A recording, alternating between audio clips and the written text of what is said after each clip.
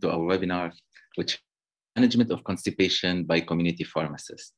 We are delighted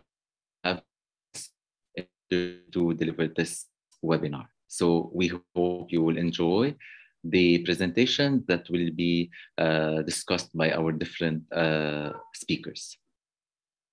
So at we'll uh, discussing the uh, management of constipation and allow me to introduce myself. I am Marwan Akel and I am an FIP projects manager for workforce development, evidence and impact. Uh, I am delighted to be here to moderate this event. So some uh, like uh, announcements at the beginning of our uh, event. So this webinar is being recorded and live streamed via YouTube. The recording will be available on our website, events.fip.org. You may ask questions using the question box provided. So please, if you have questions, go to the Q&A uh, and uh, send us your questions so that we can answer them either during the panel discussion at the end of our meeting or uh, when the speakers will be uh, talking their presentation. You are welcome to provide feedback to webinars at fip.org. And if you're not an FIP member, please visit www.fip.org if you wish to become a member, go to membership and then registration and become a member at FIP. So FIP would like to thank Sanofi uh, Consumer Healthcare for supporting this online event through unrestricted. And for today, next slide, please. So we're having um, three panelists. We're having uh, Dr. Jihan Safwan, which is Assistant Dean at the Lebanese International University. We'll be having Dr. Ahmed Madisch, who is, who is Senior Consultant and Head Center of Gastroenterology. And we'll be having also Dr. João Rafael Gonçalves, who is a community pharmacist. And they will be tackling the uh, management of constipation from different aspects. So today's program, we will start by his contribution to improving constipation management in the community presented by Dr. Jihan Safwan. Then we'll go to how helpful are exercise, fiber, and fluids for constipation, presented by Professor Ahmed Madisch. And then we will uh, have a third presentation from uh, Dr. João Rafael Gonçalves about therapeutical options for constipation and laxatives in community dwelling older adults. We floor questions and answers at the end, and we will have our closing remarks to finish our webinar. So our learning objectives, uh, we will try to, uh, by the end of this event, to understand of pharmacists in managing constipation in the community and understand the influence of fiber, exercise, and fluids in constipation management and explore the complication of constipation medicines, especially in older adults. We will start by our first panelist, uh, Dr. Jihan Safwan, which is Assistant Dean. She's Clinical Associate Professor at the Lebanese International University in Beirut, Lebanon. Her presentation will be about pharmacists' contribution to improving constipation management in the community. Dr. Jihan Safwan has multiple publications in peer-reviewed journals, and she has attended multiple national and international conferences where she presented multiple accredited lectures and scientific posters. Dr. Jihan, the floor is yours.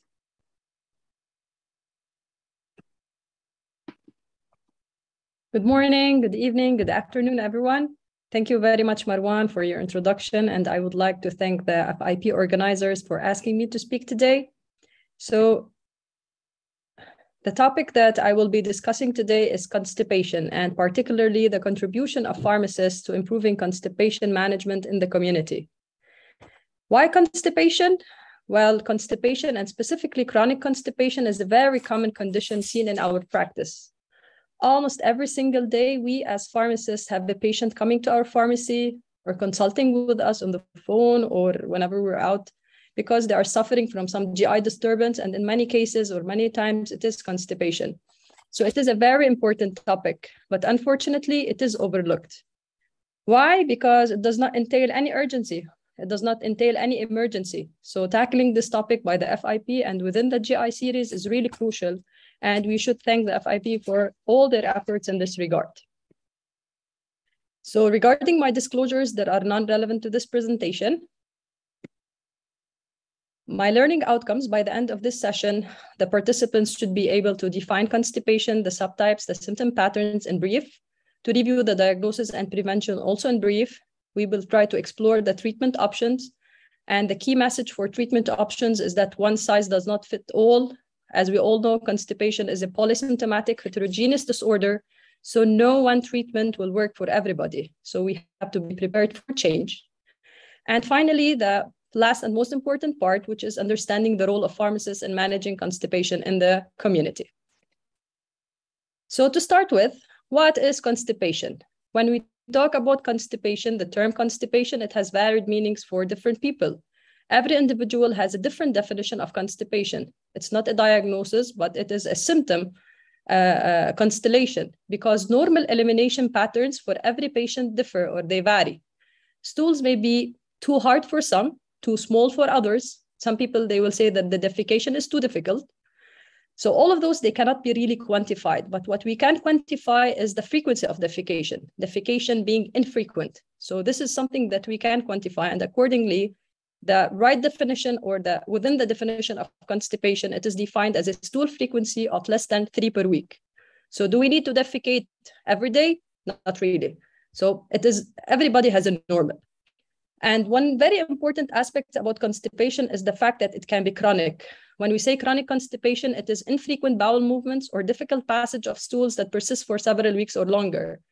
And this is really, really something that, that, that or this condition will interfere with our ability to go about our daily tasks or with the patient's ability to go with, our, with their daily tasks. And this is why we need to tackle this condition or this disease. So some epidemiology about constipation. In North America, it was reported that chronic constipation affects around 63 million people. Worldwide, the prevalence was estimated from 12 to 19%. Uh, constipation was more frequent in North America and Europe in comparison with Asia. Why? Probably it was related to differences in culture, diet, or environment. Even a meta-analysis of patients in Europe and Oceania showed a prevalence rates of as high as 81% with a general incidence of approximately 17%.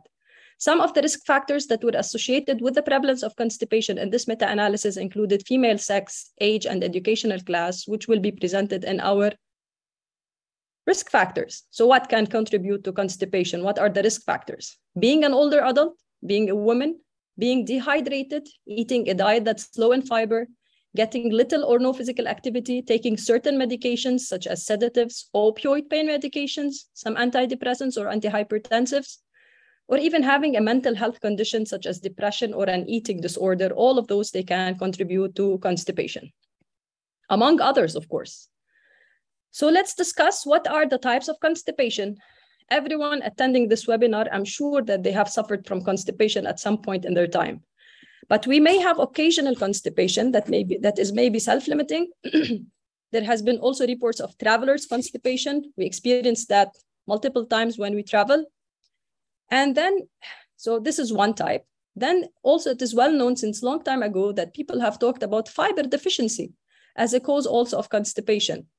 Is this really the only cause? Is it really fiber deficiency?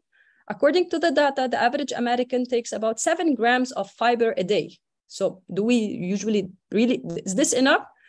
If, if, if that's, this is actually not enough. All of us should be constipated, but we're not. So what I'm trying to say is that fiber deficiency is only one component of this really complex illness. And then there is the chronic constipation. And I would like to break it down into the primary, where the major dysfunction is in the colon or in the anorectal region. We have slow transit constipation, we have dyssynergic defecation, we have irritable bowel syndrome constipation and pelvic floor disorders. And then we have the secondary constipation, which I will talk about in the coming slide. And then although opioid-induced constipation is a type of secondary constipation, but still I have managed to subcategorize it separately because now it is well known uh, that the FDA has indication for treatment uh, for, for, this type of constipation by using certain specific drugs that we are going to also discuss in the coming slides. So here's a list of various uh, secondary causes, which most of you are familiar with. We have malignancy, colorectal cancer, ovarian cancer. We have mechanical obstruction. We have endocrine disorders, mainly diabetes mellitus is the number one disorder. Neurological dysfunction or disorders, uh, particularly Parkinson's disease. We have metabolic disorders, collagen, vascular, and muscle disorders. Mainly, we have EDS. And pregnancy, quarter of the patients, they have reported uh, constipation during pregnancy. And last but not least, even though it's in the, the, the first uh, secondary cause, is medications and including opioids, as we have previously mentioned. So what are the signs and symptoms of chronic constipation? People have reported passing fewer than three stools a week, having lumpy or hard stools, straining to have bowel movements, feeling as though there is a blockage in the rectum, feeling as though you cannot completely empty the stool in the rectum, needing help to empty your rectum. And constipation is, as we mentioned, considered chronic if we've experienced two or more of these symptoms for the last three months. Accordingly, this is where the diagnostic criteria come in. The Rome four criteria, the most updated ones for functional constipation, they managed to, to, to, to, to, to, to explain what, uh, how to diagnose constipation in patients. So the criteria that we are going to discuss below should be fulfilled for at least three months with symptom onset of at least six months prior to the diagnosis. What are we talking about? We need to have two or more of the following during the last 20, uh, sorry, during at least 25% of defecations, a quarter of the defecations, the patient has reported straining, lumpy or hard stools, according to the Bristol School Stool Scale, forms one and two, which are seen in the uh, green box. So types one and two, when we have separate hard lumps and lumpy and sausage-like uh, uh, like stools, a sensation of incomplete evacuation, a sensation of anorectal obstruction or blockage, or manual maneuvers to facilitate defecation, such as digital evacuation, and having had less than three spontaneous bowel movements per week. Also, loose stools have been reported by the patients to be rarely present without the use of laxatives and having insufficient criteria for IBS. So as we mentioned, the criteria should be fulfilled for at least three months and the symptom onset with at least six months prior to the diagnosis. And here there's a, a small note that I have here that although patients with functional constipation, they may have abdominal pain and or bloating, but they are not the predominant symptoms. What we're trying to say that here it is when we have the abdominal bloating, it might be due to IBS. Other diagnostic tests that can be done also include a general physical exam, a digital rectal exam, doing some blood tests for hypothyroidism or having high calcium levels, doing an X-ray, sigmoidoscopy, colonoscopy, anorectal manometry, balloon expulsion test, colonic transit, scintigraphy, X-ray defecography, MRI defecography. So all of those, they are diagnostic tests that are usually done by physicians in order to try to find out what is the reason for the constipation that the patient is presenting with.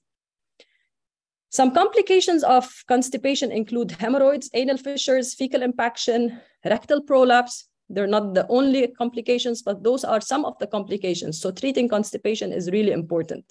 And our role as pharmacists is really important to try to uh, make people aware about the prevention of, of constipation. So here's our first role, prevention. How do we do it? By asking patients to include plenty of high fiber foods in their diet, to eat fewer foods with low amounts of fiber, such as processed food, drinking plenty of fluids. Those are going to be tackled in the coming presentation, in the coming, uh, in the coming uh, presentation by Dr. Ahmed. Staying as active as possible, trying to get regular exercise, trying to manage stress, not ignoring the urge to pass stool, trying to create a regular schedule for bowel movements, and making sure that children who start eating solid foods, they take plenty of fiber in their diets. What else? So we have also treatment. Treatment for constipation, chronic constipation specifically usually begins with the diet and lifestyle changes. And if those changes don't help, our doctor can may recommend medications or surgery. So to start with, with the non-pharmacological treatment, so very briefly, I'm not going to go into details. So diet and lifestyle changes, increasing, increasing the fiber intake. And along with the fibers, we need to drink plenty of fluids or asking our patients to drink plenty of fluids to help this fibrous material to pass through the digestive tract smoothly. Uh, some products or some food supplements that can uh, include fiber, whole grains, corn, beans, avocado, apples, nuts, a very long list. Exercising most days of the week, not ignoring the urge to have a bowel movement. Why? Because this helps to ensure that you will continue to perceive the import, the usefulness of the signal that you need to go to the toilet. So if we ignore it, our, our bowel might think that this is not a signal that, that is necessary and it will stop it, which might lead to more and more constipation. As for the pharmacological treatment, we have laxatives that are available over the counter. Again, I'm not going to go into the details because this is going to be tackled in the, uh, the third presentation. We have fiber supplements, we have stimulants, osmotics, lubricants, stool softeners, enemas, and suppositories. Here I included some of the mechanisms of action. You can check them out. Some of the examples like fiber supplements, including psyllium, stimulants such as bisacodyl or senna, uh, senna supplements, osmotics like oral magnesium hydroxide, lubricants like mineral oil, stool softeners such as docusate, and enemas and suppositories such as tap water enemas and glycerin or bisacodyl suppositories. Uh, the FIP has, has published a book, a handbook for pharmacists, uh, Empowering Self-Care. It's a very nice handbook that I encourage everybody to check it out. That, uh, that, that talks about self-care and, and, and, and various diseases. And it's, it's a really nice handbook that we as pharmacists can really benefit from. And I have adapted from this handbook the this table that includes the laxatives that are available over the counter. It tackles all the GI, but those are the ones for self-care. So it, it mentions the normal dosage, the onset of action, the duration of use, the main adverse effects, and the considerations, where they reinforce the importance of adherence uh, again and again to the dietary and lifestyle measures before starting with any medication or along with any medication to be used for treatment of constipation. As for the prescription medications, so where do they come? If OTC medications don't help, then your doctor will recommend a prescription medication. And we as pharmacists, we need to know about those medications to know why they are being prescribed and how do they work and what to counsel our patient about. We have multiple drug categories. We have the prosecretory agents such as lubiprostone, linaclotide, and plecanatide. We have serotonergic agents such as prucalopride, which is a serotonin 4 agonist. And we have the opioid antagonist, which also rings a bell why we mentioned that it is a subcategory by itself as a type of constipation, because we have specific medications that can treat it, such as naloxegol and methylnaltrexone. They are peripherally acting mu opioid receptor antagonists. So those are the prescription medications. Some other treatment options, also we have training of the pelvic muscles by the biofeedback training. What is this biofeedback training? I'm not sure if you are familiar with this. It involves working with a therapist who uses devices to help the patient learn to relax and tighten the muscles in the pelvis. Why is this important? Because relaxing, relaxing the pelvic floor muscles at the right time during defecation also will help in passing stool more easily. So it will help those patients. What about surgery? So surgery also may be an option if you have tried other treatments and your chronic constipation is caused by blockage, rectocele, and or stricture, surgery is necessary in this case. Or if patients, they have tried all types of treatments without success and still they have abnormally slow movement of the stool through the colon, then we can go for surgical removal, removal of part of the colon. Uh, are we do we do like an entire colon removal? Not really. It's rarely necessary in patients with constipation but it is an option. So the most important part our pharmacist role. So we mentioned the drugs we mentioned the prevention. So patients usually they consult us as pharmacists for assistance in the gastric and digestive complaints. So it's critical for us as pharmacists to be aware of the different options for preventing and treatment treating constipation that we have discussed previously and again, what can we do too? We have some things, some, some very important roles. Evaluating the patient's medical record. The patient's medical record, it might be time consuming, but it's really important because we might find out that there are certain medications to be the cause, such as narcotic analgesics like opiates, antacids or uh, containing aluminum hydroxide or calcium carbonate, calcium channel blockers, diuretics, Parkinson's medications, antispasmodics, antidepressants, drugs that have anticholinergic side effects, iron, calcium supplements, which have a side effect of constipation, anticonvulsants. So if a medication is suspected to be the cause, the patient should be urged to discuss the problem with their prescriber so that they can consider altering the regimen or try to find other medications that have less of this side effect. What else can we do? We need to know the alarming features, the red flags, when to refer our patients to physicians. If a patient is coming and we, we find out the patient has a serious underlying medical condition such as Parkinson's disease or diabetes, refer. Patient is a possible laxative abuser or misuser. We're going to discuss this in the coming slide. Constipation has lasted longer than seven days. Patient has a rectal bleeding, sudden change in the bowel habits that last for two weeks or longer. The patient uh, has constipation accompanied by abdominal pain, nausea, or vomiting. Those might be signs of appendicitis. Patient has had an ileostomy, colostomy, Patient is pregnant, breastfeeding. The constipation is alternating with diarrhea. It might be IBS. Patient has rectal pain or sharp severe abdominal pain, especially if it's accompanied also by bloating. Stools are thin or pencil-like. So also we need to check this out. Patient has unexplained weight loss, refer. And if the patient has used a laxative and or instituted lifestyle changes but remains constipated, also we need to refer our patients to a physician. What else can we do? So laxative abusers, misusers, we mentioned this in the previous slide. What are the types of abuse or misuse? Those are some examples of patients or of, of categories of patients who might be abusing. Individuals who are engaged in certain types of athletic training, including sports with set weight li limits. So they will abuse the laxatives to lose weight so that they can compete or win in a certain tournament, for example, like wrestlers. We have uh, patients who are who suffer from eating disorders such as anorexia or bulimia. Those patients, they usually abuse laxatives in the purgative type mostly stimulants that contain bisacodyl or senna to lose weight. How are we going to recognize those patients? So if we see that we have a patient who is thin or drastically underweight, a woman specifically, because most commonly those disorders appear in females, this should trigger an alarm when they are repeatedly purchasing such medications. Also, another type of abuse is surreptitious laxative abusers who use the drugs to cause factitious diarrhea and may have a factitious disorder. So, such a disorder, it's a it's a kind of a, a, a problem. It's it's a it's a psychological disorder. They want to attract attention, so they will do that. They can uh, uh abuse those laxatives to produce more and more uh, to, to, to produce loose stools. Patients also who use laxatives over the seven day limit, they become laxative dependent they cannot do anything about it. They become abusers slash misusers, so laxative dependent. If we as pharmacists suspect abuse or misuse, the refusal to sell is warranted, and this is very important. What can we do? We can place the laxatives of abuse behind the counter with a sign informing the patients that they must ask the pharmacist for them. This way, we can ask the right questions when they come to ask for those medications. Also, we can check the patient's age. Why is this very important? Because laxatives and fiber products, even though that we say that they are over the counter and they are safe and anybody can use them, yet still we have certain age limits below which they are not safe for self-treatment. Here are some examples. Uh, glycerin suppositories and enemas, polycarbophil, docusate, magnesium hydroxide, sodium phosphate enemas, mineral oil enemas, magnesium citrate, castor oil, and senna, they are safe to be used in children who are two years and above. Those that are safe for six years and above include methylcellulose, psyllium, oral mineral oil, and bisacodyl.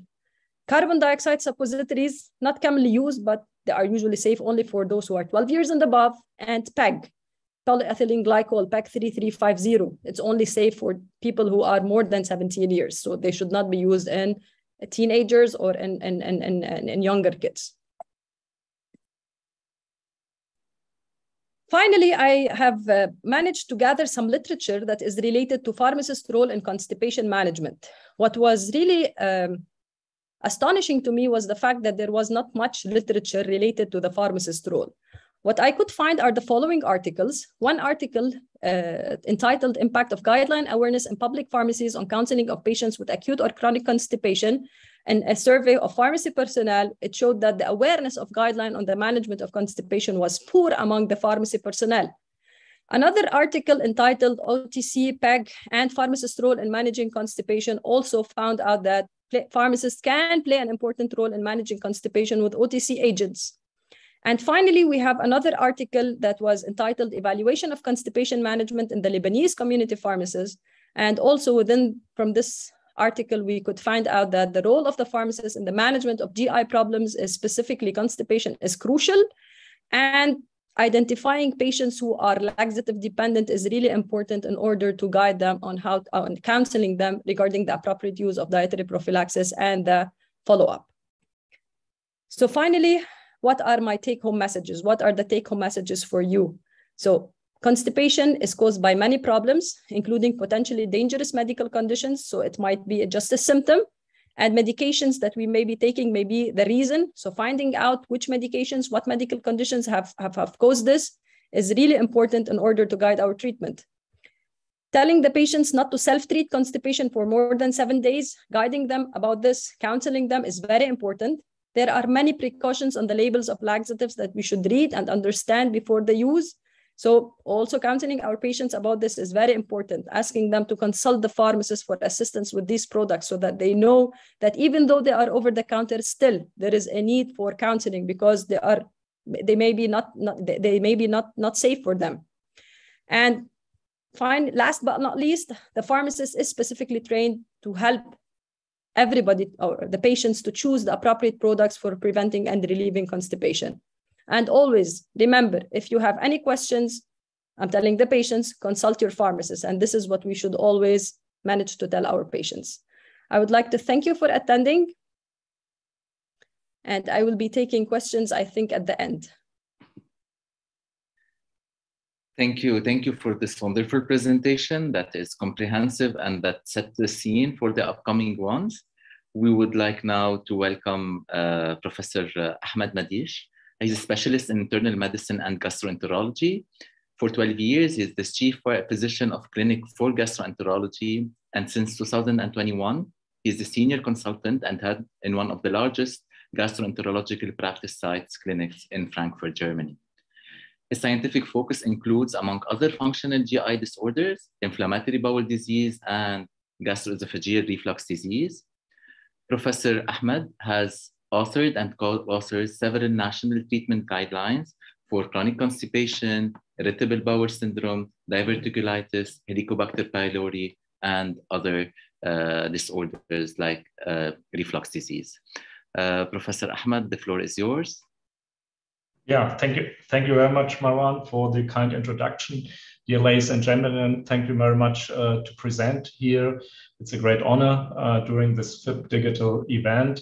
And after a very excellent introduction of management of constipation, um, I want to focus now on our general um, recommendation in patients with chronic uh, constipation. And I want to answer the question, what, what is the evidence uh, for our recommendation and uh, um, what can we do besides this? I want to start.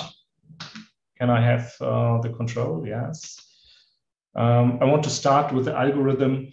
Um, we fix it in our uh, uh, newly updated guideline of, of, of uh, obstipation, of chronic obstipation. It's in German, of course, I want to, uh, I don't want to go in detail, uh, but I want to um, emphasize that the first step um, of patient with chronic constipation is the diagnostic workup. I think this is uh, very necessary in patients with chronic constipation. Why it's necessary? Of course, we want, regardless the red flags, we want to exclude uh, exclude uh, serious diseases, and this reassurance for the patient that there's no serious uh, uh, disease. I think it's a very important uh, part of the management of patient with chronic constipation.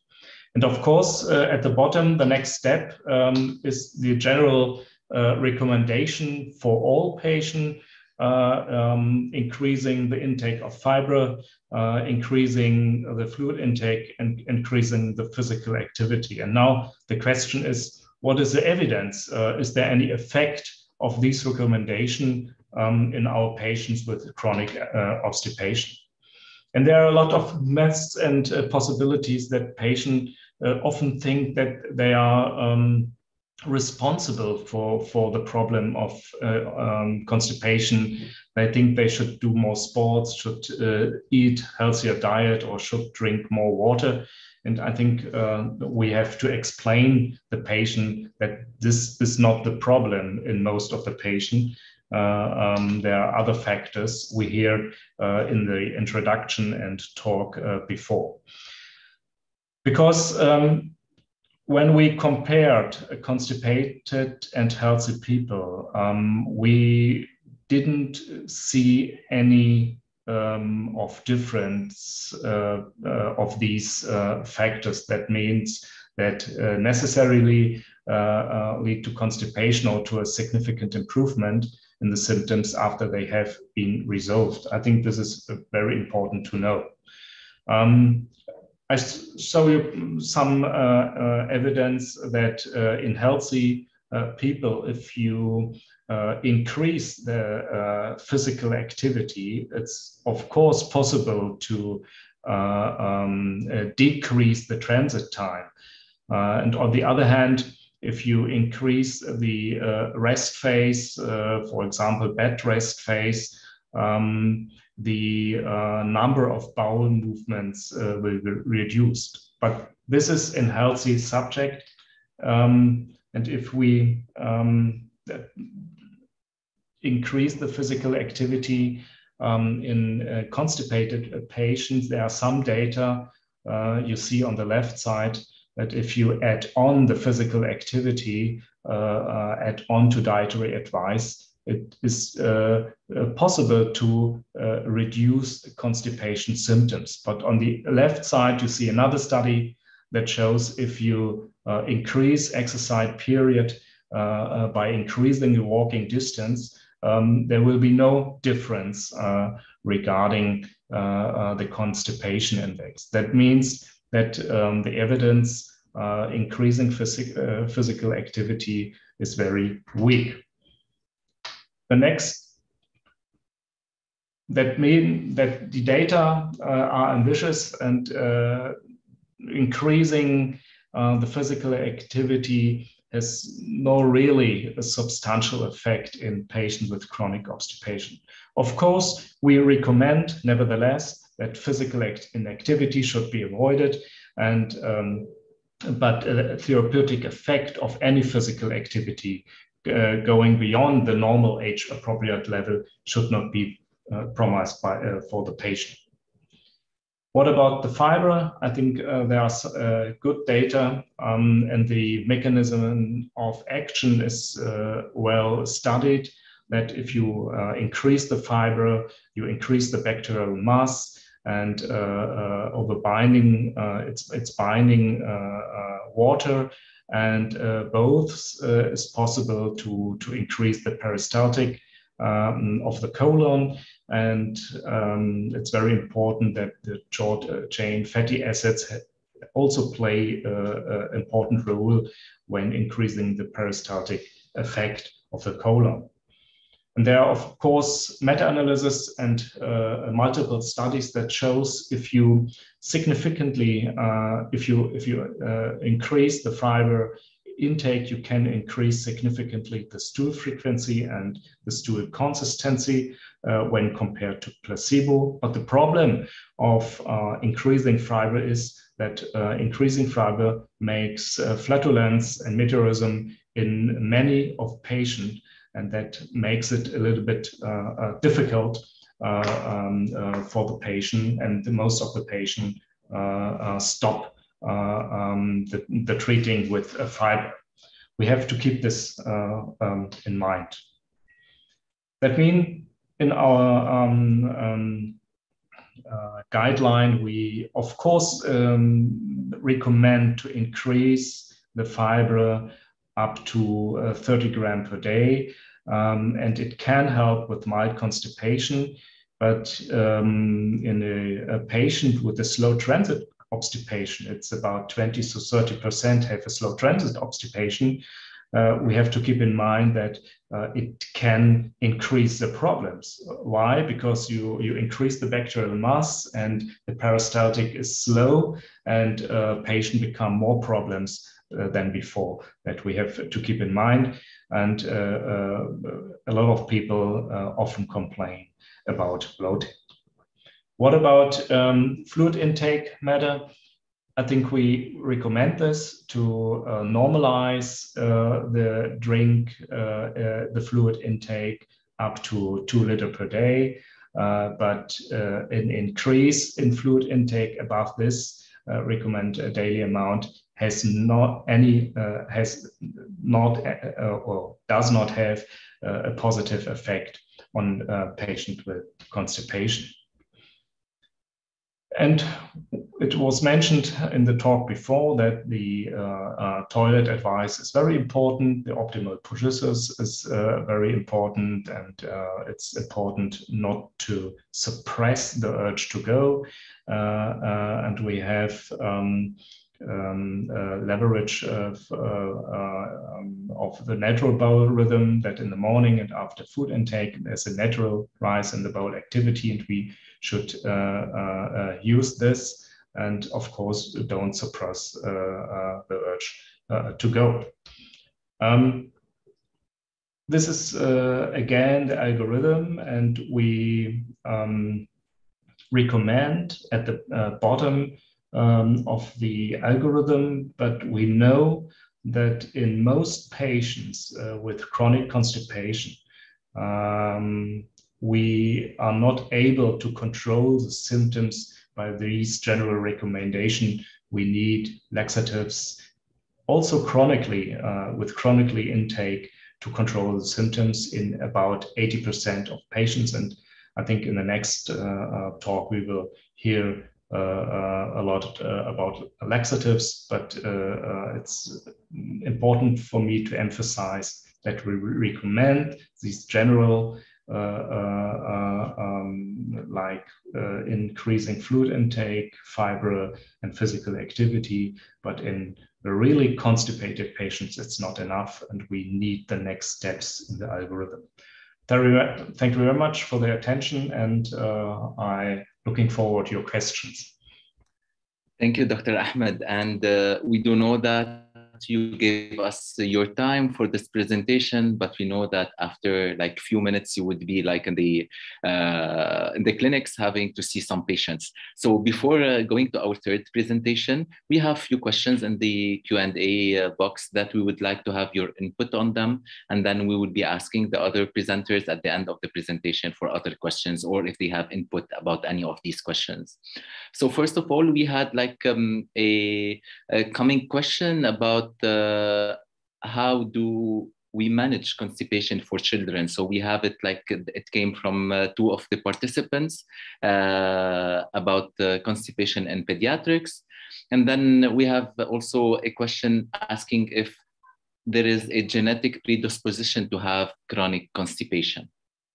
So we would like I to think, have your input on those questions. Yeah, first, first, of, first of all, in all diseases, there is uh, a genetical part of uh, uh um, of, of, of a disease. But um, um, I think that's new in, in different studies. And of course, um, and what what about uh, uh, constipation managed in children? I'm not a pediatrist, uh, but I think it's it's no problem with some laxatives uh, um, if if children take this. Um, I think this is very safe in the treatment, and we we hear before. Um, that there are um, age restrictions, but I think in uh, a doctor can uh, uh, treat children with this. It's no problem. Thank you, thank you. And as you've said, uh, we we have seen in the previous presentation that some laxatives may be used uh, for pediatrics, but it depends on the age and which laxatives to be used. Uh, yeah. Thank you a lot, Dr. Ahmed, for your presentation, and um, for, for being with us. And please feel free to, uh, to leave uh, the session whenever uh, you want. We know that you, you, should have, you should be in the clinics. We're again thankful for your uh, uh, presentation and we will go now to our third speaker. Thank you very much. Thank you. So our third speaker is João Rafael Gonçalves. João is a community pharmacist in Portugal. He will be talking about therapeutic options for constipation and laxative in community dwelling older adults. João has a MPharm, is a community pharmacist, and is a PhD candidate at the Faculty of Pharmacy at the University of Lisbon. Uh, he's a researcher uh, uh at the iMed.ULisboa Research Institute for Medicine in the field of long-term care with special interest in medicine use in geriatric population. João, the floor is yours. Thank you very much, Marwan, for your introduction. And thank you, everyone, to those who are watching us all across the world. It's, it's good to, to have so many colleagues. And of course, um, thanks to our um, my colleagues from this panel. Uh, you made a brilliant presentation, which is really helpful um, for me as a community pharmacist and to, to complement my presentation. yeah, so this is the title of my presentation. So the main core of my presentation is laxatives in older adults. And before we dive into um, the agenda for today, I would like just to clarify some, some things. I will be referring to, to older adults and those who can live by themselves or in communities, but mostly those who can who are able to visit community pharmacies and uh, be assisted by us, community pharmacists. I have nothing to, de to declare regarding any conflict of interest. And as my main objective for, for today is to bring to you, of course, guidelines. And we as pharmacists, we are scientists from the very beginning, well, first of all. So my point here is to bring to you science and to merge it to, to make a fusion between the real world data and evidence through my practice and my colleagues' practice. And of course, we have this limitation because I, I work in Portugal, but I think that many of our experiences can be uh, shared and can be adapted uh, all over the world. So this is my, my main goal. So for today, I divided my, um, my presentation into three main sections. First of all, a, a, brief overview of my professional experience and my colleagues' experience. Uh, then on the second section, I'll be addressing, I'll be sharing to you my practical uh, roadmap and some tips that uh, are useful, I think at least are useful for me and my patients um, as a community pharmacist. And if you have time to wrap up, I would like to bring to you a clinical case, a recent clinical case from a, a few months ago. So when I was preparing this presentation, I was looking uh, at my my patients and I was uh, thinking about some some cases. And it's uh, really interesting to, to find that we have a perfect match between the statistics, uh, I mean, the prevalence of constipation and um, our experience as community pharmacists. So definitely we have more women uh, complaining about constipation. We have children too. It's not the, the, the, target population for today, but it's interesting to, to see that there is uh, this similar, for these two similar uh, special populations, they share uh, similar prevalence of constipation and of course the elderly. Um, it's interesting, it's uh, noteworthy to, to, to look at the inpatient, inpatient settings, um, hospital and nursing homes, not only because it's my field of study as a researcher, but especially because when I work as a community pharmacy, as a community pharmacist, I have many, many patients or carers coming to the pharmacy after an admission in a hospital, after staying in a nursing home, and complaining about constipation. So, in the transition of care, we, the community pharmacists, we can play a role um, and helpful, can be helpful to our patients too. Um, we should uh, raise awareness um, amongst our patients that it's not normal to evacuate just one or twice per week. Some some patients, the older patients, they take it as normal. It is normal. It is not. Um, so we have to to do these educational interventions towards uh, this uh, population. Um, at the same time, it's um, being a community pharmacist is quite quite challenging, especially during COVID time, because we have to balance uh, between the work overload, the long queues, and all the symptoms, all the diseases, all the syndromes, all the complaints that that people uh, bring to us. So webinars like these are really helpful, I think, because we have to map, we have to systematize in our heads, in our minds, um, not only for constipation, but for other syndromes and symptoms. We have to be efficient in analyzing our patient. At the same time, we have to be, I wouldn't say quick, but we have to be efficient too in managing all the atmosphere in the pharmacy. Um, in general, patients don't get embarrassed uh, when they are describing their symptoms, not only constipation, but in general, because they trust they trust us. But you have to make sure so make your patients comfortable, uh, so they can share with you all the details. Just the next slide is just something from this last Saturday. I was working during this weekend. I had two patients, uh, one female and one male different ages and different approaches uh, towards constipation. So on your left, you have a female around 50. She works abroad. She comes to Portugal every weekend. And during the business days, uh, she doesn't uh, have any bowel movement. So I decided to use two laxatives and, and a bulk forming uh, based on seeds uh, laxative. On your right, you have a different uh, case. So it's an older man. And in this case, I used the statement start low and go slow. So I just use one laxative because all the symptoms, all the description wasn't that um, severe as on your left. So this is the this was the profession overview. So this is the core of my presentation, the practical roadmap, and I would say more important, some tips. First of all, you have to collect data. Without collecting data properly, you are not able to make a decision or to refer your patient to the to see the physician, for instance. And I would start for this, collecting data. I divided into three other, this is my, my mental map, as I told you. Um, I divide into three other sections this collection, um, this collecting data moments. Characterize, identify, and decide. Uh, on your right, you have uh, uh the Bristol uh, uh, stool scale. It's really important because you have to ask your patient, you have absence of movements, is it incomplete? Do you have any other condition or symptoms like bloating? Is it painful? Loss of appetite is really common.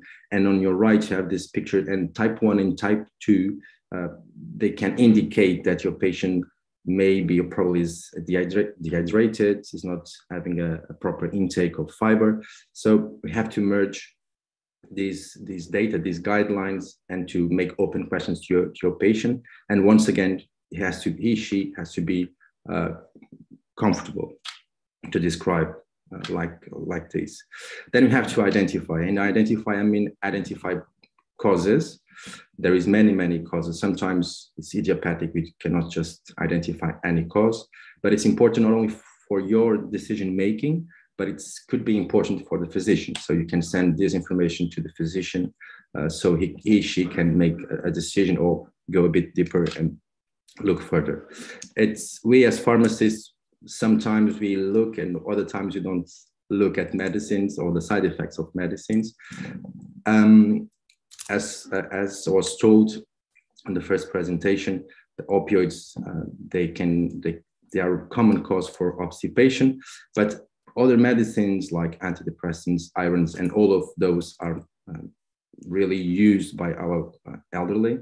But special and on anticholinergic, I would say that we can make a, a difference because there is many, many uh, anticholinergic burden scales. So you can calculate, you can measure the, the, the anticholinergic burden of your patient. And so you can make, you can propose to the physician some uh, deprescribing. And with these, uh, you can um, you can change the obstipation uh, um, history, and then you have to decide. If you're not able to decide because there is any uh, red flag like vomiting, bleeding, then of course your patient has to go to the physician. Then you have therapeutical decision. Um, when I do it, I look at four uh, main indicators. Assessment, is it chronic, is it temporary? what kind of laxatives do I have available? Not only because of shortage, there is many times shortage of medicines, but also because community pharmacy is quite different all over the world. So you have to look at your medicine, the one you have uh, at, at in your pharmacy or the medical devices. Your patient's preferences is really important, special for rectal routes, for instance, and you have to avoid impactations or obstruction at any um, at any cost. Um, from my experience, the three first classes of um, uh, laxatives, the bulk forming, the osmotic, and the stimulants are the most used and more frequently used. The last two, the lubricants and the surface active agents, are not that used. I would say that the surface uh, active agents are more used um, before uh, colonoscopy, for instance. So I made this table um, don't take it as a guideline. Of course, it's not a guideline. I was trying to describe to you that my approach and my colleagues' approach uh, in um, managing constipation, it depends. It depends on the symptoms for how many days your patient uh, has no uh, bowel movements. Uh, of course, we have to, if possible, to start low and go slow. But for many, many patients and to avoid impactation or obstruction, we have to be uh, more intense, avoiding pain, of course, um, when deciding the therapeutic um, scheme decision.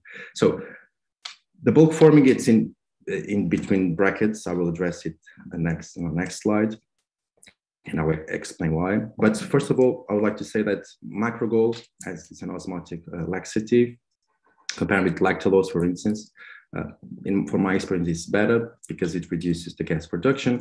And many, many times, the problem we have is we would like to a patient to to have like an oral laxative, like Macrogol, lactulose, something around this or belonging to this group, and at the same time to avoid a painful evacuation to use uh, an enema, for instance, or suppository. But many times our patients they don't they don't want to use the suppository or the enema.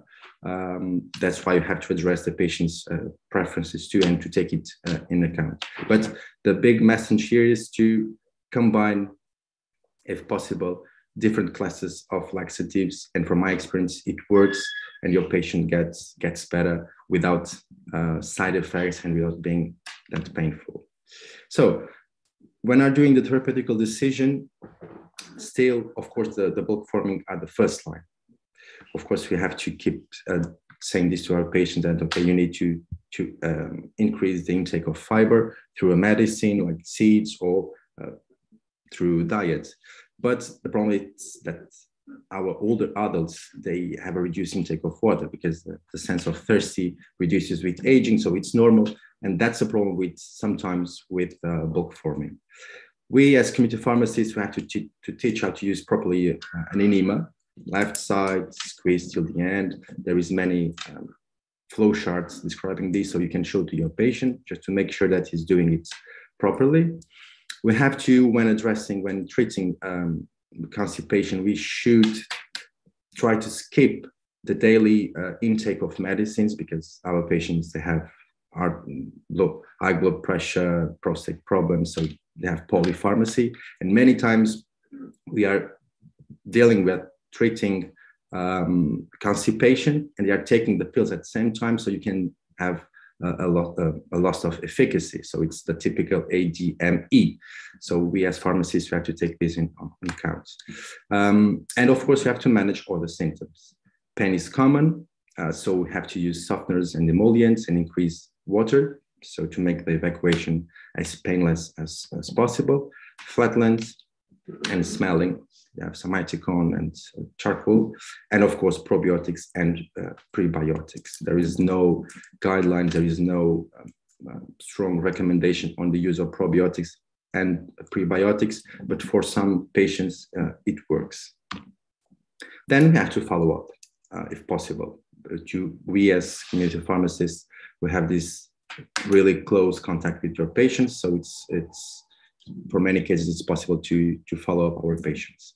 And we should label every medication package because your patient had this crisis this month, and within three months you can have uh, another another crisis crisis of um, constipation, and he he she will they will had this package of the laxative and the powder and the capsules amongst all the rest of the medicines they take. So it's a big mess. So label everything with indication of posology. And of course, we have to prevent. We have to teach our patients health management strategies, special diet, changing lifestyle through diet and physical activity. We have to make sure that your patient can increase the intake of water. Like for some patient, like cardiac insufficiency, we have to avoid or on the other hand, some patients take it too serious. Let's say I was talking with a with a carer, a daughter of a patient of mine. She's this lady. She's seventy something, and she's taking lina, linaclotide, and she takes four liters of water a day. Of course, all the ionogram, the sodium was uh, unbalanced because she takes four liters a day and there we have other patients that taking just two. So we have to um, tailor our intervention towards the patient you have in front of you, uh, like patients on warfarin, for instance. So all the the, um, the foods, all the food rich in vitamin K, K, you have to be careful uh, with that. Well, and to wrap up, I think I have time. Marwan, tell me. Um, I would like you to bring this clinical case. It was the, car- the carrot who came to the pharmacy saying that uh, his daughter, his um, father, um, was suffering for constipation for the last five days. So absence, full absence of uh, bowel movement. He's on uh, chemotherapy and he was taking morphine. Pain control was um, pain was controlled before the onset of the symptoms. So my first option was to take was for him to take lactulose. I had no macrogol, for instance, and use suppositories of glycerin. But I asked her, okay, call your dad, uh, ask him if he trusts on his, if he uh, accepts uh, this um, this scheme.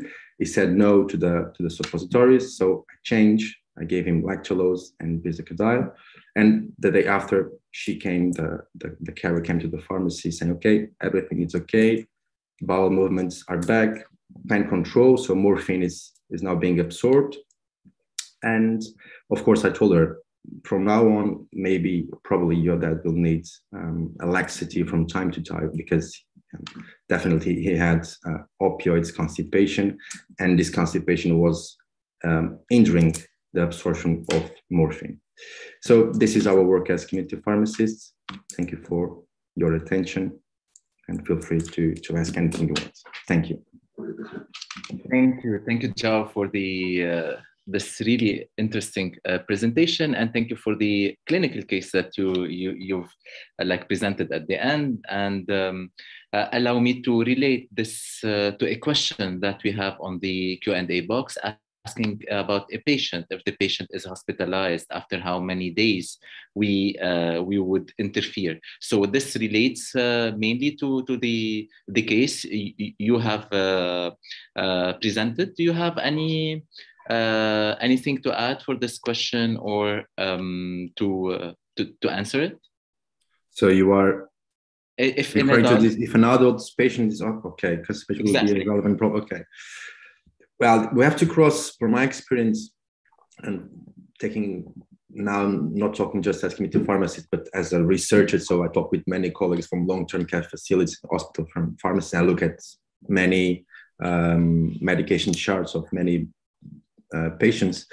The problem goes with the symptoms. If the symptoms are too severe, and after seven days, uh, in that case, maybe you will need the patient will need something uh, more intense because uh, you can take laxatives orally and, and use the enema, for instance, but the volume of feces are so big that during the evacuation will be really painful and will bloat.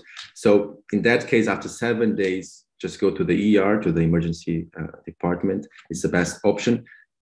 Before that, it's like seven days till six days, five days, we can manage, can be painful, the evacuation, um, but it's manageable. After seven days, one week, it's too much, Special for uh, older adults, all the muscles are, all the, the abdomen muscles are weak. So everything is different when you're uh, aged.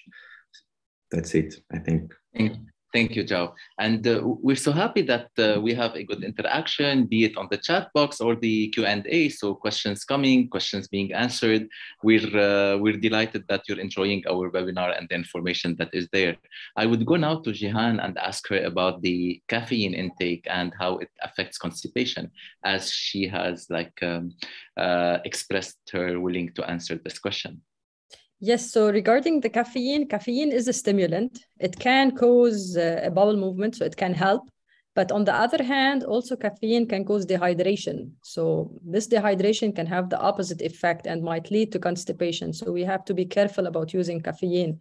Excessive caffeine might be dehydrating, so it's not recommended. So if you're constipated, avoid avoid caffeine in general or choose something decaf, uh, um, any kind of drink that is decaf, it would be better. But as caffeine by itself being a stimulant, it will help in inducing a bowel movement. So the, the, the, the, the key message here is about dehydration. So be careful about this. Great, thank you. Joe, any addition to, to this about caffeine from your experience? Uh, it's true, yeah. I, I wouldn't add anything. It's like sometimes you have Thank to you. look at some some lifestyle uh, habits that people have that may trigger. So we have to adapt your um, your scheme, your decision, uh, your advice according to what patients say. Because for many patients, it's opposite. Like uh, having uh, cough is the opposite. For others, I mean opposite, like having diarrhea, and for other cases, they have um, constipation. So we have all the time to, to collect data properly and then make Yeah. a decision. And uh, another question is coming is about the fissures that may be caused by the constipation. So how fissures can be avoided and uh, uh, what would you like to discuss on this matter? João? Uh, first of all, non-pharmacological measures. I think it was uh, Rian that uh, showed us the picture of um, how to use uh, for toileting. Uh, it's really important because, especially with cell phones, people spend many many hours um, in the bathroom. So Yeah. gravity makes makes his its work, all our muscles. And then it's funny because funny or interesting that many of our patients that go to the pharmacy with constipation, they have an underlying condition like hemorrhoids or uh, fissure. So we have to treat everything together. Like the fissure is really painful or hemorrhoids, and you have to to understand whether it's fissure or hemorrhoids. And at the same time, you have to to treat constipation. So it's really common. I, I usually say that we, with the older uh, patients, is like a bit like the, the kids. Many kids they have constipation because they feel pain, uh, because they have a fissure. They have not hemorrhoids, but a fissure sometimes, some parasites, uh, and so they avoid. They skip going to the toilet, and it's a bit. It's the same sometimes with uh, older adults. So kids and older adults, somewhat patronizing, but sometimes they they they do not share um, these symptoms and they get constipated because they have they have pain. Yeah. And I would like to add something also regarding the anal fissures. And from my experience with patients who have had this, uh, they, they uh, in addition to the to the to the non-pharmacological treatment, which is very important, in many cases they take like chronically uh, fiber supplements uh, to induce uh, or even uh, stool softeners in order to have softened stools because every time they go into the toilet the fissure is going to be the, the, the stools are going to affect it It and will relapse. Yeah. yes it will relapse so chronic use of, of, of the laxatives will be necessary in many in many cases Mhm. they are lucky it will heal but uh, in many cases they are not lucky so it's it's it's it's it's it's a it's a very complex situation for for such patients and as you said also in older adults it becomes it becomes worse or in some patients who will uh, stop going to the toilet also it will make it worse and worse That's true. That's true. Talking about the chronic use of laxatives, we have a questions uh, about the overuse or constant use of laxative that may lead to dependence. So um, uh, Mhm. can we can we discuss this question and explain it uh, to our uh, uh, participants? Uh, Jihan would like to start or João. So both of you, please uh, present uh, discuss this. So basically, regarding the laxative dependence or laxative abuse, uh, the, the overuse of fibers, for example, it will not lead to the uh, uh, to, to abuse. But using uh, laxatives such as the, the the stimulant ones, such as bisacodyl or senna, yes, we, we we see it, and it's very common. And I mentioned it in the in the laxative abuse. Uh, uh, in the, in the not the laxative, the, the, the misusers, the abusers of laxatives, that we should target or that we should realize when uh, patients come to our pharmacy because such such medications they can cause a lazy colon or a laxative colon Mhm. uh, they, they will lose the, the, the- their colon will lose the ability to stimulate the passage of stools and eventually they will become dependent so we see it more commonly with stimulants those are the most common medications that cause it Yeah, it's true. The, our older patients, it's it's it's it, from my experience, they they prefer to use um, enemas and suppository, for instance, which is better. But at the same time, they prefer to use um, um, herbal medicines like senna, and it's sometimes it's hard to make them change to a macrogol to a lactulose. Oh, this is the best. I take it for 20 years. Okay, it's it's better in a certain way because it's not a liquid, it's just a pill. You take one or twice or two bedtime, but after 20 years with aging, your uh, bowel movements get slower and all your gut is, is changing. So sometimes you have this problem in changing. So you have to go step by step. Okay, just take one and add 15 milliliters of lactulose or add mm. a sachet of macrogol. And after one year, two years, okay, now it's okay. Because sometimes you have to convince your patients that is better. Because otherwise, yeah. they'll say, no, no, this this pharmacist just he wants just to change to sell these no it's, it's not about that you know you have to take take on board these kind of uh, preferences otherwise the compliance will be um, will not be that that good yeah yeah so um, we have a question about the how long it takes to a distended colon to return to normal after chronic constipation so uh, is this uh, patient dependent or do we, we have like uh, some time frames that we can say between this number of days and, and other? I think it varies a lot. So it's like yeah, yeah, it varies a lot. There is there is nothing in the literature that tells us, or even in, and the guidelines that tells us how long does it take for a colon to get back to normal. In some cases, it happens in a month, and others in a couple of weeks. It depends on the patient and it depends on how much they can adopt the non-pharmacological management. Mm-hmm. It depends on the reason for the, the, the cause of the constipation in this patient. Uh, like if, if they have diabetes, it's, it's they, they, they will adapt, but eventually it will be there kind of you know so so so it, it really varies there, there is really no number or no amount of days that we can rely on or we can say that this is the amount of days that will help mm. uh, that the patient's colon will be will come back to normal. And many times it gets a chronic condition. So patient from time to time, every I would say like twice per year, let's say, have this after holidays because many patients when they change like they go on, on holidays after Christmas, Easter, um, for Christian uh, population, of course, um, they have these changes. So they get obstipated, but in advance, they start taking some medicines. It's really important for the patient to self manage to uh, in advance mm-hmm. of some, some occasions. Thank you. Uh, two other questions about the best treatment for pregnancy. So, constipation treatment and pregnancy. So, uh, uh your input on this stool softeners mm-hmm. are, are, are, safe in pregnancy. Fiber those are the most ones being uh, prescribed by the by gynecologists let's say for, for pregnant patients who suffer from constipation. So bulk forming and stool softeners. Of course they have to start with the non-pharmacological this is this is the most important and hydration.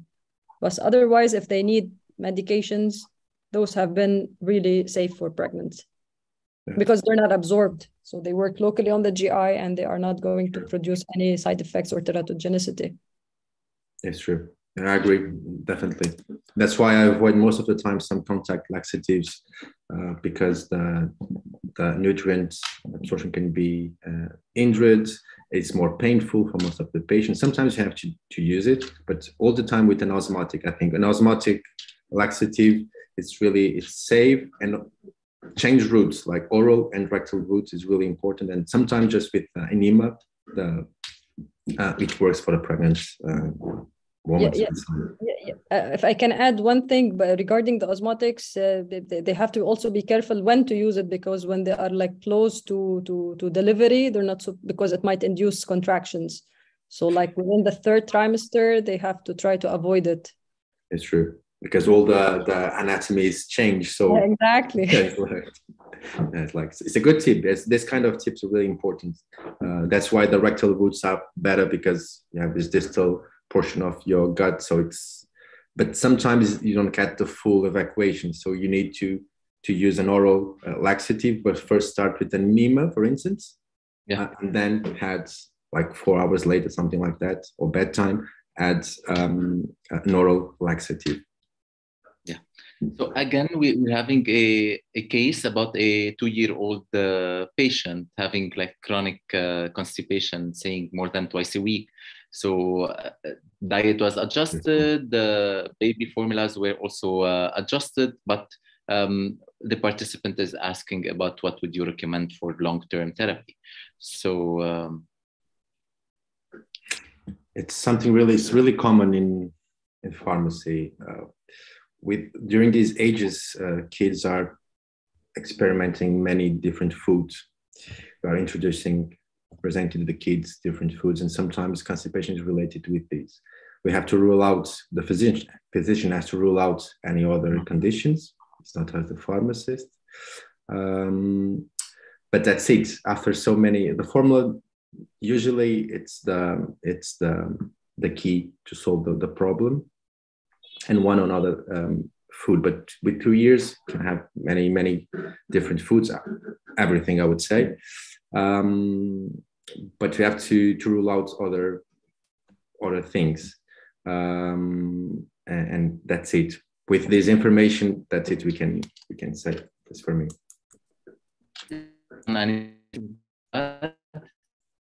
For this question for pediatrics, we, we, we've got like too many questions about the this uh, category yeah, of people in pediatrics. So maybe also a good, we, yes, a good, a good idea to, to think about a, a webinar for uh, pediatric uh, GI conditions. Um, we have also another question coming uh, from like uh, talking about hemorrhoids and anxiety and how uh, how to manage the anxiety of the patients that are coming to us uh, having constipation, having hemorrhoids, and they're anxious about it.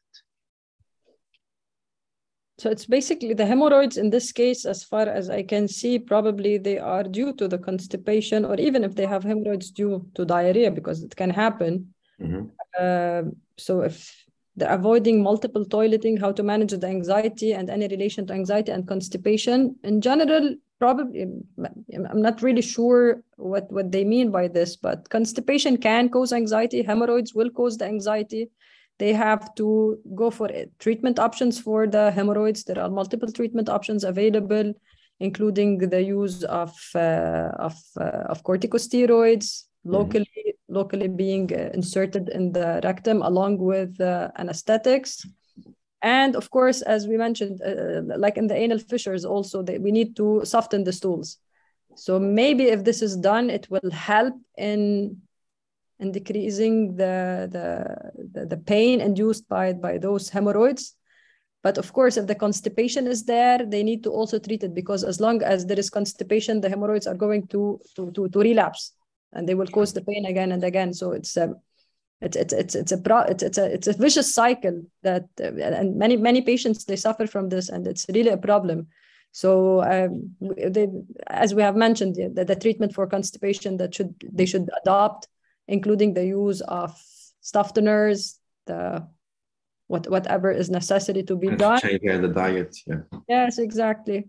Sometimes we'll have too much too much potato and and breads so the stools get hard. So sometimes you just change these instead of instead of making a soup with, um, I'd say pumpkin and potato, take it out and use spinach and cabbage. Mm-hmm. Sometimes we do the same with the kids. Like a kid with, yes. with constipation, just changes the soup and change the formula. With with the adults is the same. So change these, um, change these habits. So again, questions coming for like constipation for five to six days. What is the emergency? We've already uh, discussed this, of course, non-pharmacological, and then uh, before before going to any emergency uh, plan. Another question is about patient having strictures, constipated, and what should be done in order to help this patient. So uh, pain is there, so um, um, I guess it all goes to the what you have been saying about well, like softeners. But yes, softener. But when we have a stricture, they should be evaluated by a physician, for by a GI mm-hmm. physician, to check if there is a need for a surgery, because right. having strictures is an indication for surgery. So once done, it might help. So. Yeah, it's, a, it's a minor it's a minor syndrome, but it can be really pain, painful, and sometimes people just they keep postponing going to the GI um, um, physician, gastroenterologist, or the, or the GP. Uh, and sometimes you just need the surgery. They keep postponing the surgery because they hear the neighbor saying, "Okay, it's really painful. Uh, it doesn't. It didn't work." You know. And we as pharmacists, we have to also say, just go to the physician. Don't yeah. listen to your neighbor saying it's really painful. It didn't work to my cousin. And this kind of stuff. Otherwise, people just coming to the pharmacy asking for the same, same pills, same powders, same enemas, and sometimes they need something else. They need a surgical intervention or other sort of intervention. So we have to work in collaboration with other professionals uh, and forcing our patients to go to the to the physician because they trust on us uh, as community pharmacists. But there is nothing more that we can do when they have a fissure that is not healing, hemorrhoids. So what's the point? That's, yeah. that's bad practice. Yes, and the, the, the issue also about uh, postponing the the uh, taking an appointment is because whenever there is a stricture, there is a need to do a digital rectal exam. So many patients they just that's right. That's just right. thinking about it, they, they they they would think of not going. But we have to tell them that and and, re, and to, to to to to to make them comfortable about it that they will not feel any pain. It's a it's a normal procedure that is done. They can use anesthesia so that they don't feel the pain whatever is necessary to be done to to to make them feel comfortable about it. It's true. It's true. It's true. Mm, João and Jihan, and also allow me to thank Dr. Ahmed for the presentation. So it's the topic, but also it's the presenters. You all participants to questions and to make it, they were really involved with us. So would like to thank you all and thank you for addressing all the questions. This was really a wonderful. We we, we can see the all the reactions that we're having. So thank you, thank you for all the uh, the participants. We have like just few announcements at the end for some upcoming events at FIP, and then we'll give the floor if you have any uh, final uh, final thing you want to share with the uh, participants we're having uh, at FIP the FIP Pharmacy Practice Research Special Interest Group Summer Meeting, which will be held on July 4 and 5 uh, at uh, Utrecht University in, of Applied Sciences in Utrecht in Netherlands. All PhD students, their supervisors, academics, researchers, and professional organizations and practitioners that are involved in research are welcome to join the meeting. During this meeting, you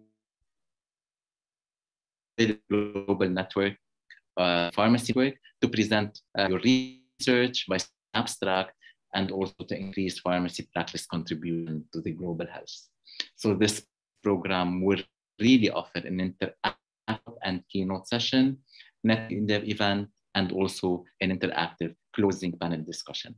So book your place this month and join us the uh, uh, practice research summer uh, meeting another uh, big event we, we have been waiting is the Seville uh, 80th FIP World Congress for Pharmacy and Pharmaceutical Science, which will be in Seville between 18 and 22 September 2022. The theme Congress for this year is Pharmacy United in the Recovering of Healthcare. So um, we uh, registration and abstract submission and already open open so if you want to have more information please visit our website seville2022.fip.org.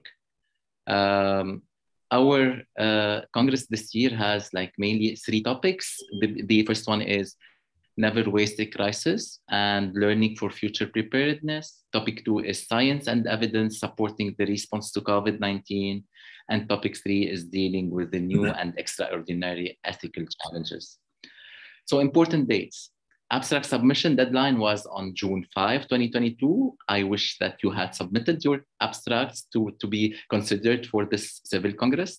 Uh, the results will be announced on the 1st of July, 2022. So the committee is now working on all the abstracts that were submitted and the early bird registration deadline is July 15. So for more information, go to the website seville2022.fip.org, register, and we're all waiting you at Seville. Uh, Jihan and João, a final uh, word for our uh, uh participants? Jihanna? Yes, yes, sure. So uh, I would like to thank you, Marwan. I'd like to thank the FIP for giving us the chance to speak today. So again and again, constipation is a very common condition. And we as pharmacists, we can provide assistance to our patients. We can help them. We are knowledgeable, we are accessible healthcare professionals. We are in a unique position to help the patients who present with acute constipation by telling them about OTC medication to help them with the selection or if there is a necessity to refer them, to refer them to a physician if necessity. And as I mentioned in my presentation, the key message about the treatment option is that one size does not fit all. Constipation is actually a polysymptomatic heterogeneous disorder. No one treatment will work for everybody. So we have to be prepared for change. We have to be prepared for counseling. We have to be prepared to help our patients, as we always do. Thank you again. Thank you, João.